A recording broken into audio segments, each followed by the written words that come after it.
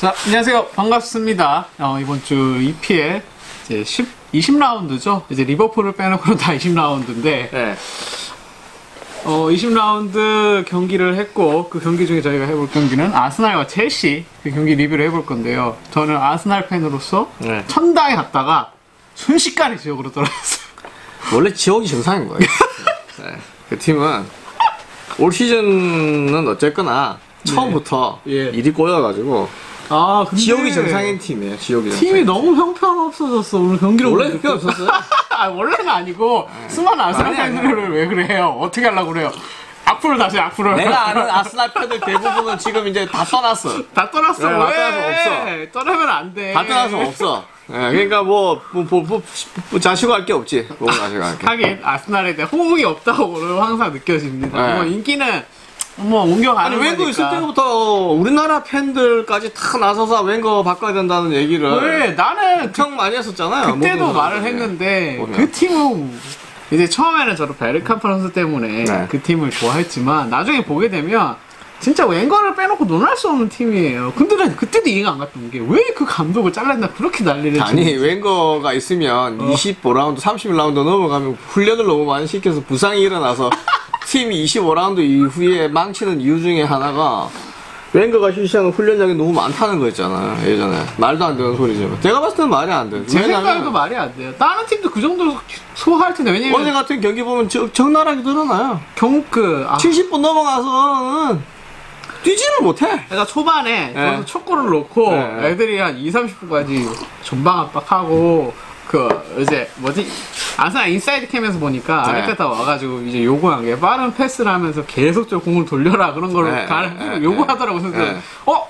야 저런 거 하네 우리도 아스날도 이제 아니 잠깐이지. 저만 한 10분 5분이면 와, 끝나잖아. 아, 그런 건 누구나 요구할 수 있지. 그러면 한 10분 동안은 선수들 머릿속에 들어왔으니까 해. 그 이유 안 돼. 아니 좀 이게 그 이런 뭐라- 말은 아닌데 그러니까 네. 그 조, 조르라고 하죠 예, 예.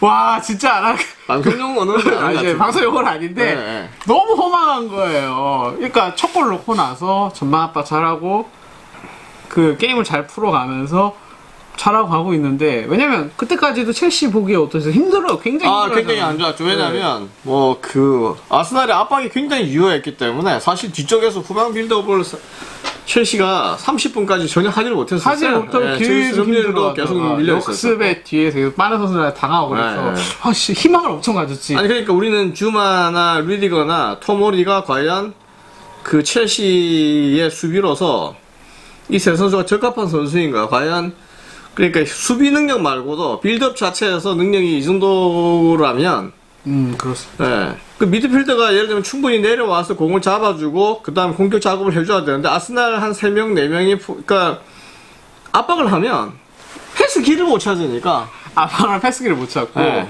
딴게 아니라 이제 오버명하고 위에 이제 넬슨이 양쪽에 치고 그렇게 네. 공간을 파면 nel슨이 비교적 잘했었어요. 어쩔 줄 못- 몰라가지고 와 이거 이기는 거야 골로 가 드디어 이기는 거야. 그렇죠. 그럴 줄 알았죠. 나는. 그래서 그럴 줄 알았어요, 진짜로.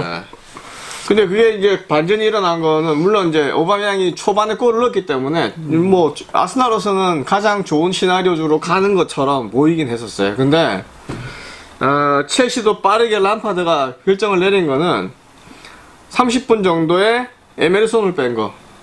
MLS로 보기 어떠셨어요 그 경기? 아니 뭐 움직임 활동이 없으니까 사이드 쪽으로 나와 있기는 하지만 본인이 뭔가 사이드에서 토모리 앞에서 플레이를 하는데 그러면 리디거에서 토모리를 가서 토모리에서 에메르손을 가든지 해야 되는데 아예 안 된다 이거. 그다음 칸테도.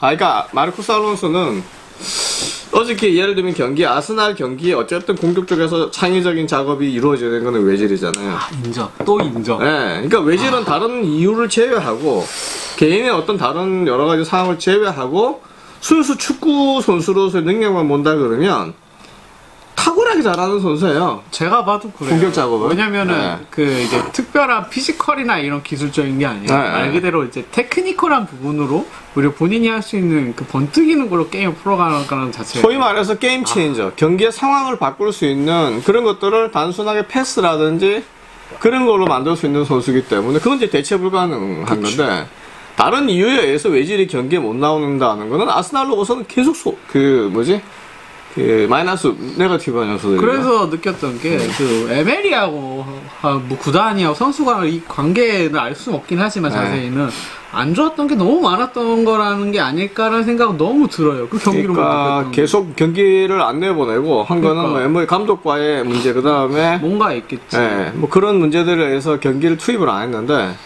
아, 문제는 투입을 한 어제 같은 경기도 결국에는 전반 반짝이고 이 선수는 60분용밖에 안 되는 선수다. 결론은 그런 거예요. 예를 들어서 60분 전 선수를 계속 출입할 수 있는 거. 물론 어제 교체는 78분에 됐으니까 비교적 많이 뛰었지만 사실 후반전 들어와서 뭐 외질이 한 게 없으니까 별로. 없어요. 예. 왜냐면 상대방이 이제 첼시가 페이스를 계속 올려가면서 예, 예, 예.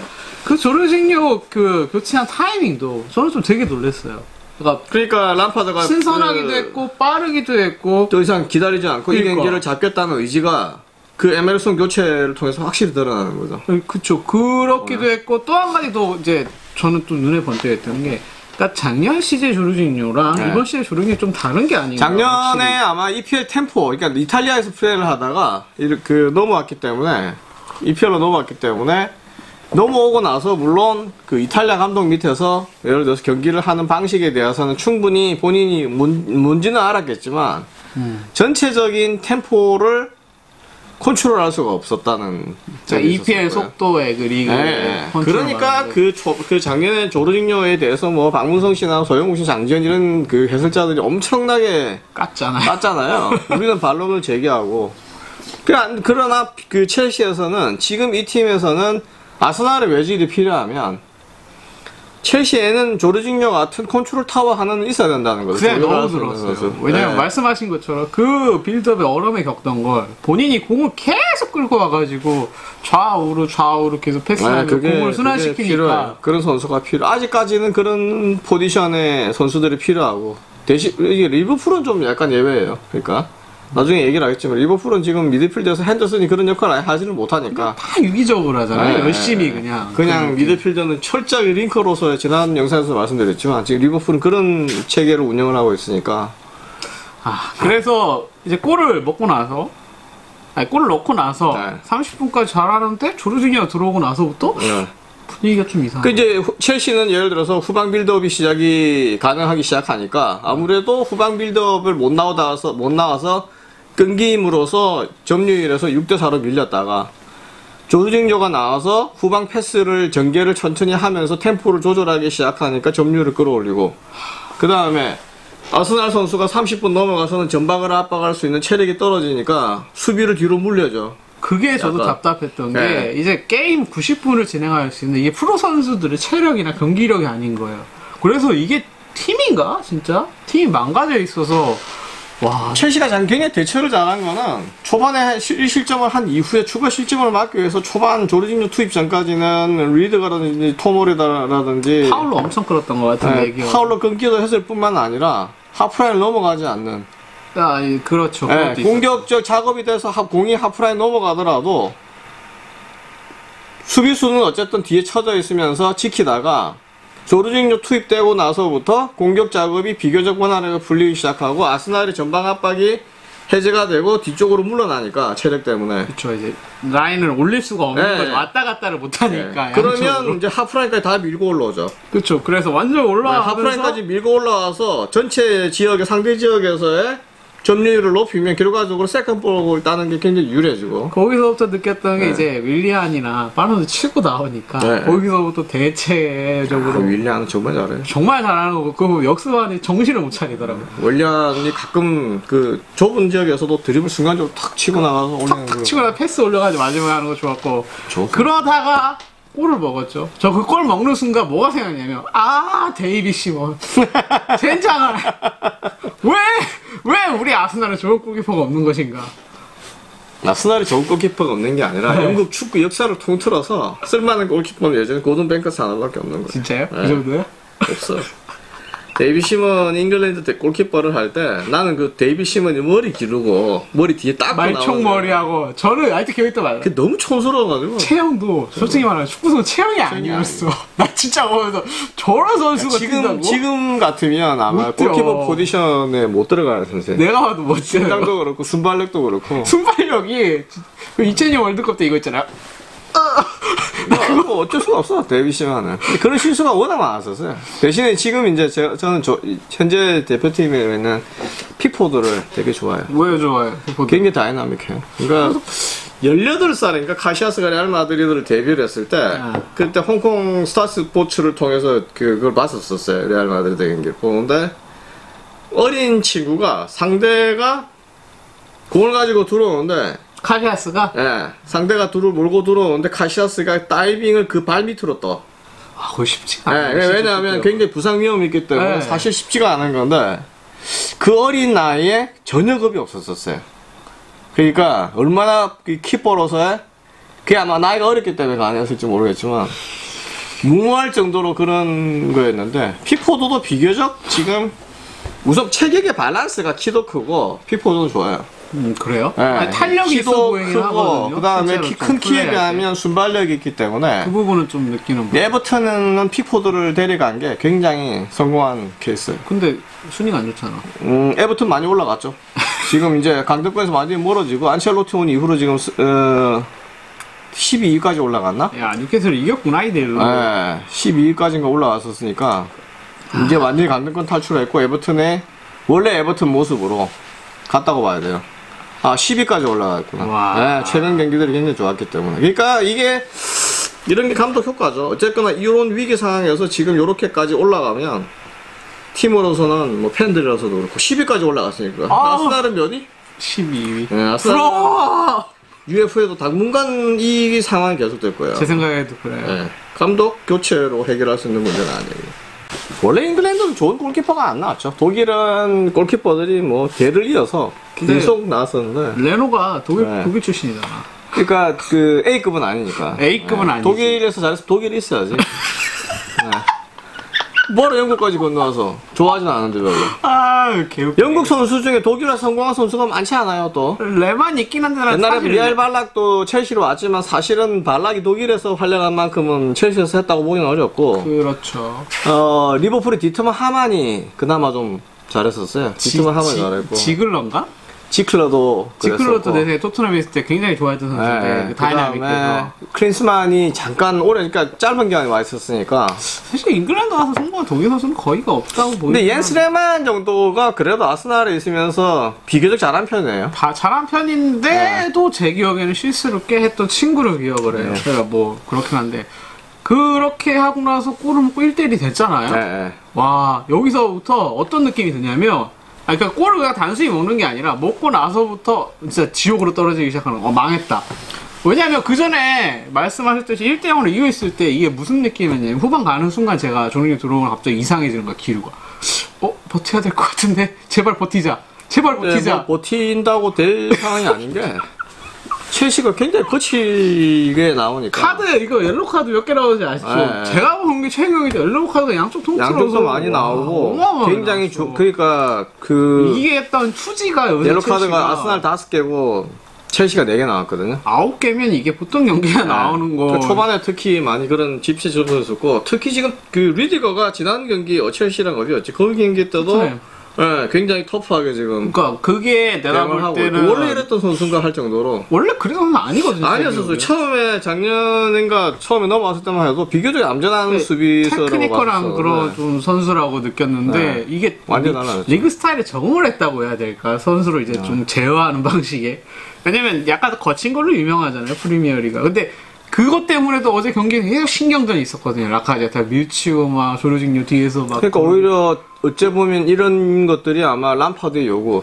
조금 더 적극적인 경기에. 그러니까 아. 토트넘 경기도 그랬었었고 감독이 워낙 공격적인 거를 지금 요구를 하니까 수비를 보, 보지는 않아. 그러니까 뭐 공격을 하, 작업을 해야 되겠다 이기자? 네, 우리한테는 이게 best다라고 이렇게 네, 그냥 네. 요거를 진짜 대놓고 하는 거 같긴 해 특히 앞쪽에서부터 마운트, 태미 아브라함, 태미 아브라함 골 넣는 동작은 와, 그거는 저내 이번- 보면서도 그냥 중거리 슈팅 이런 거 때리는 거 아니면 뭐 두 명, 세 명 돌파를 해서 때리는 이런 것도 많이 봐서 그 모션 보셨어요? 한 번에 이어지는 그 부드러워. 저 그거를 베르캄프 보는 줄 알았어, 와, 진짜. 테미아브람이 보통 선수는 아니구나 하는 게 확 느껴져서 그때 무스타피가 이렇게 하는데 내가 스미스랑 저거 제껴졌을 것 같은 거예요. 아니. 무조건 제껴지죠. 왜냐면 한쪽으로 수비라도 아마 그 원샷에 원모션에 걸어버리니까 예. 그거 보면서 와 소름 끼쳤거든. 들어가면서 졌다. 부드럽고 그 다음에 순간적으로 그 플레이 처리를 하는 센스가 굉장히 뛰어나고 볼 때마다 그러니까 깜짝 공을 많이 못 잡는데 분명히 전반 포드니까 당연히 못 잡죠. 그쵸, 왜냐면 30, 40배 압박을 이하. 예, 사- 그 이하로 잡는데도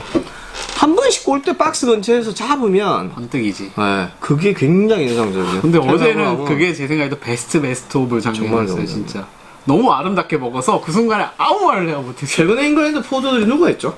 케인, 바디, 마이클 케, 아 바디. 그리고 일단은 지금은 아브라. 근데 그 이전까지는 케인 외로는 제가 그 이제 별로 없었죠. 왜냐면- 네, 유로 대회나 월드컵에 출전한 멤버 중에서 전방 포워드라서 전방 포워드 있다고 해도 예전에 키 컸던 선수 에밀 헤스키라든지 네, 네. 헤스키는 사실은 좀 별로죠. 지금 오리기 비슷하게 약간 엉성한 타입이어서 물론 리버풀에서 굉장히 오랫동안 그러니까 헤스키하고 아, 내 네, 기억에도 이렇게 잠깐 있었던 친구들이 몇 명 있는데 네. 뭐 조지 오스틴도 오스틴인가? 걔도 있긴 했는데 다들 이제 그냥 뭐 technical한 게 아니라 열심히 뛰는데 그냥 요새 정말 요 좋은 눈에 띄진 좋은 않는데. 포워드가 하나. 센터 스트라이크죠, 스트라이커. 스트라이커죠. 잉글랜드 전형의 스트라이커인데 이것도 그래서 앞으로 엄청 기대되고 그런 게임이 있고. 비슷해요.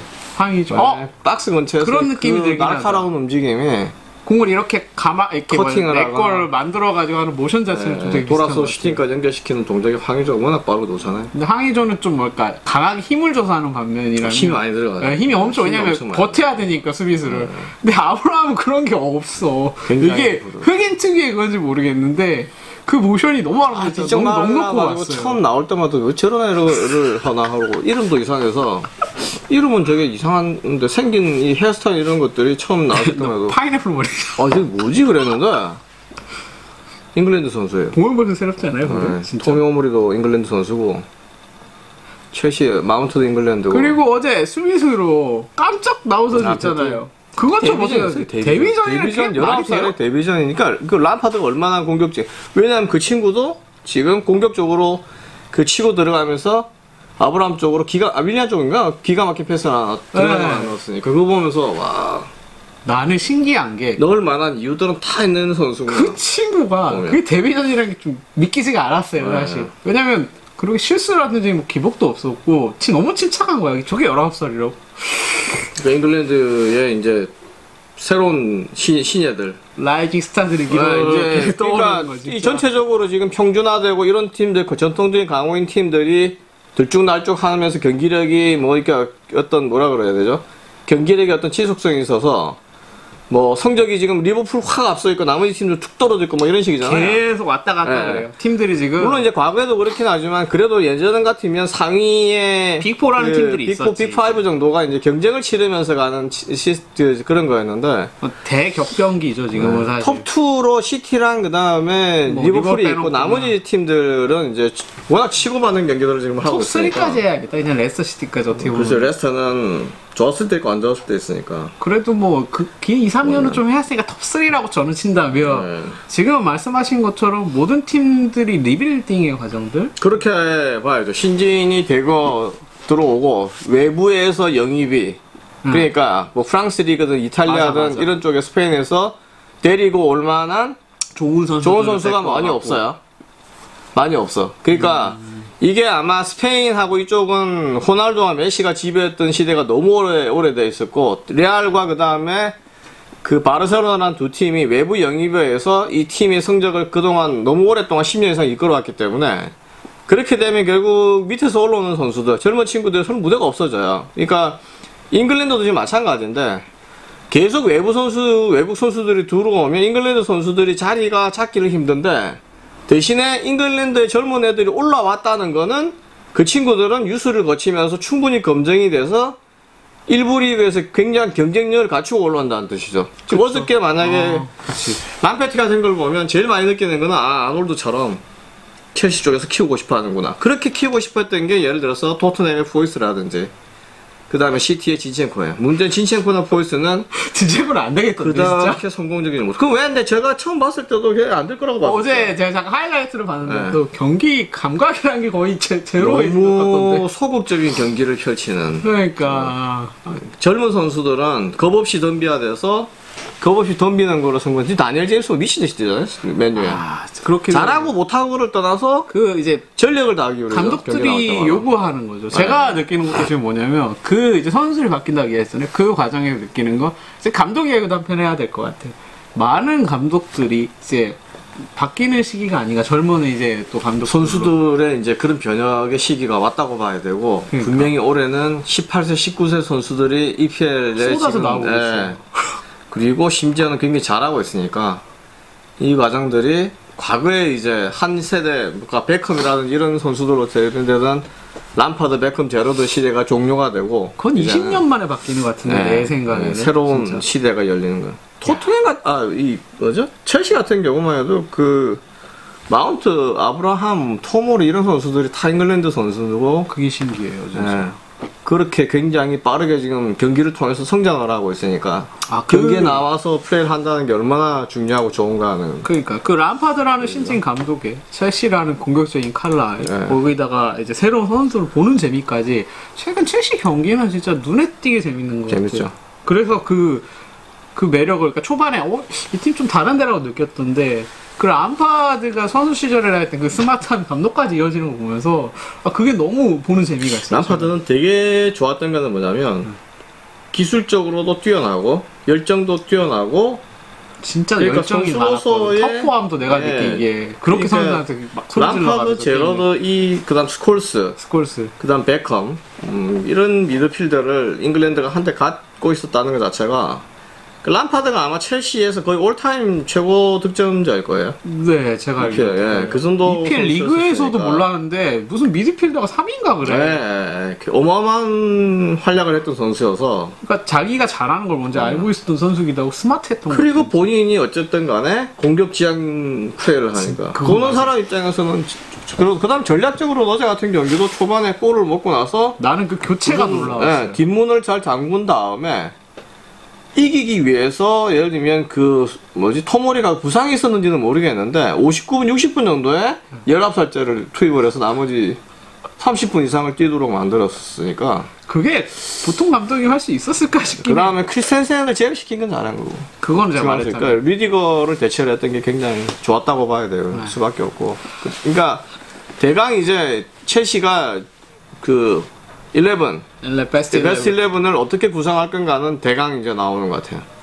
한 10몇 라운드, 20라운드 가까이 돼가니까, 아, 전체적인 윤곽이 나온다고 보고. 대신에 아스날은 여전히 좀, 그게 확정, 이제 아르테타가 또 나왔으니까 아르테타 나름대로 또 파악을 하겠죠. 그러다 보면, 이 팀이 어떻게 과연 갈지. 아, 저는 근데 이제 감독으로 네. 경기력을 끌어올린다는 것 자체가 네. 선수들이 90분 경기를 소화 못한다는 그 자체가 아니, 가자마자 자카랑 또 문제가 생겨서 지금 불협화음이 튀어나오니까. 근데 뭐 빨리 갈아야죠 그래서 자카가? 나가야지. 나가야 네, 감독이 나가죠. 왕이 돼야지 자카 경기력은 둘째고 우선 그런 문제가 있고 자꾸만 선수들하고 감독 사이 문제가 생기면 감독은 빠르게 선수를 내보내는 게 그게 가장 나을지는 네, 난 가장 나은 베스트라고 방법이고. 생각해요 외질도 만약에 지금처럼 정치적인 관련된 문제들이 발언이 계속 이루어지면서 팀 분위기가 해쳐지고 그러면 음, 외질 경기력 사이에서는 외질이 빠지는 게 굉장히 마이너스이긴 하지만 팀 전체로 보고 팀 리빌딩을 많이 진행을 하겠다고 하면 아르테타도 팔아야겠다. 빨리 정리를 하는 게 좋다. 이렇게 상황이죠. 네, 뭐좀 경기는 더할 납시 더할 날이 없이 재밌는 경기 없어 저는 재밌게 봤어요. 근데 아스날 팬 입장으로서 아 근데 그 해설을 할 때.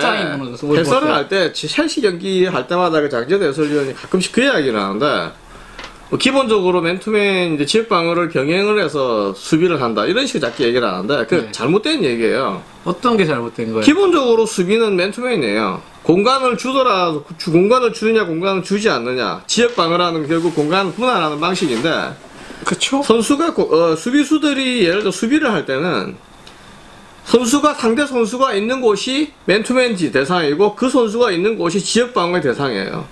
아이 그 기본적으로 그게 기본인 거예요. 그러니까 왜냐면 서 있는 거니까 맨 네, 처음에 네.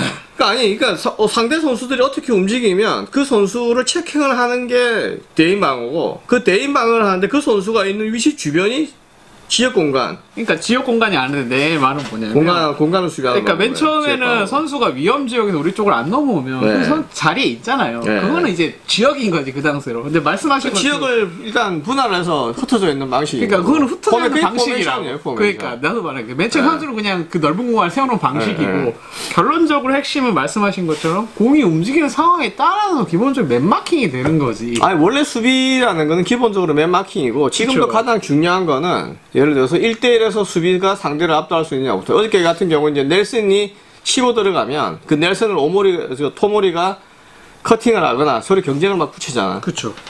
거기서 예를 들어서 이기면 팀이 이기는 거예요. 거기 뚫리면 뚫리는 거고. 뚫리는 거지. 네, 그러니까 윌리안이 치고 윌리안 같은 아니면 뭐 르로이 자네가 왼쪽에서 치고 나가거나 살라가 왼- 오른쪽에서 막 휘젓고 다니고 할 때 그거를 제어할 수 있는 수비수의 능력을 갖추고 있느냐 없느냐가 결국엔 중요한 거기 때문에. 그게 1대1이 막 그게 1대1이고 1대1인 거잖아요. 그게 수비력인 거고. 네. 예를 들면 수비가 아무리 많이 서 있어 어저께 그뭐 다음 경기도 말씀드리겠지만 어, 아스날도 마찬가지예요. 아스날도 박스 안쪽으로서 8명 9명이 수비를 하는데 단순하게 수비수가 박스 안쪽에 몰려 있다. 그거는 유리한 조건이긴 하지만 절대적인 건 아닌 게 상대 공격 수들은 한 명, 두 명 제끼게 되면 수비 한 명, 두 명 제껴지는 게 아니라 수비의 전체적인 것들이 어느 한쪽으로 쏠리거나 시선이 완전히 유도가 되기 때문에 다른 쪽에 어려운 있구나. 거예요. 네. 그래서- 왜 사람들은 예를 들어서 박스 근처에 있고 공이 들어왔을 때 그 뒤에 배우 침투하는 걸 왜 못 보냐 얘기를 하잖아요. 순간적으로 해보시면 그 상황에 아니 그게 왜냐하면 공이 있는 게 우선이기 때문에 그래요. 그쵸, 공을 눈을 보고 네. 있고 난 그걸 뺏어야 집중을 막아야 되니까 순간적으로 따라갈 수가 없어요. 이- 사람이. 이게 약간 이제 어려운 얘기, 임페라티브라는 얘기인데 거기 어떤 공이 이렇게 오른쪽이나 왼쪽에서 공이 있고 뚫리면 수비수 그 앞에 수비수가 박스 안에 4명 있든 5명이 있든 기본적으로 들어오는 선수를 막는 게 아니라 맞아요. 공을 공을 가진 따라서. 선수가 슈팅을 하- 못하거나 골을 못 넣도록 제어하는 게 우선이고 백업 백업 백업이기 때문에 뒤로 들어오는 선수를 보고 막는다는 것은 의미가 없어져요. 그거는 불가능해요. 그래서 많은 코치나 감독들이 어린 선수들을 가르칠 때 공과 상대 수비를 동시에 눈에 두고 있어야 된다. 그거는 기, 기본 원칙인데 임페라티브한 거 그러니까 급박한 상황이 되게 되면 하나를 선택해. 그게 없어요. 공이 있는. 거를 선택을 하는 거야. 누구나 본능적으로 네, 선택하고 여러분들이 경기를 잘 아시겠지만 순간적으로 패스가 그 이제 페널티 안에서도 어제 리버풀도 그랬는데 마찬가지예요. 그 살라가 2대1 주고 그 순간에 뒤로 돌아가면서 뚫리잖아요. 그러니까 그게 발이 멈춰. 그게 내 우리나라- 의지하고 상관없이 발이 멈춘다니까. 대표팀. 경기에서도 수비력이 약하다 아니면 수비가 잘못했다고 얘기를 하는데 실제로는 대부분의 골은 상대가 잘하는 거지 수비가 못해서 그거는 안 동의합니다. 예. 왜냐면 수비수가 선수들 발이 묶인다고 보셔야 그러니까 되는 공격수는 예를 들면 1년에 20골 넣는 선수는 상대 수비가 어떤 선수라도 골을 넣는 거예요. 아, 그거는 득점이. 메시를 보면 알 수 있습니다. 예, 예. 그래서 여태까지 좀 첼시하고 리버풀 이야기를 해봤는데 첼시의 이 상승세는 사실 꺾일 것 같지가 않아요. 오뚜기 대신에 같아, 약간씩의 기복은 지금 있는 팀인 걸로 가니까 그러니까 예를 들면 첼시도 문제가 뭐냐면 맨유도 마찬가지인데 계속해서 치고 나가서 연승을 해야 되는데 그건 안 된다는 거죠. 음. 그러니까 한 경기 두 경기 이기고 다음 무승부 패가 하나 나오고 또 두 경기 가다가 또 한 경기 되고 그렇게 되면 최종적으로 갔을 때 이제 리그에 예를 들면 상위권에는 진출을 하거나 하는 거는 가능하지만 궁극적으로 팀이 어떤 탄력을 받아서 연승을 가면서 안정권, 챔스의 안정권이라든지 리그 우승에 도전한다든지 이런 게 안 나고 지금 이제 레스터라든지 이런 거는 레스터가 되게 좋은 거는 리버풀 한 경기 지긴 했지만 승이 계속 나머지 경기를 챙겨왔으니까. 계속 챙겨가죠. 그러니까 이제 이런 팀이 강한 거고 시티 같은 경우는 정말 운이 없는 게 잡혔으니까 울브스한테 잡혔으니까 어, 물론 셰필드한테 어저께 이기긴 했지만 셰필드한테 어렵게 이기던데. 네. 네. 하이라이트 한번 왜냐면 근데 울브스의 경기가 워낙 기가 막혔던 경기죠. 그러니까 자. 시티는 그래서 첼시와 아스날의 경기는 네. 여기까지 리뷰를 하고요. 이어서 다음에 리버풀과 저희는 그 재미있었던 울버햄튼의 경기로 리뷰로 돌아오도록 네. 하겠습니다. UFC와 네. 리버풀의 경기. 감사합니다.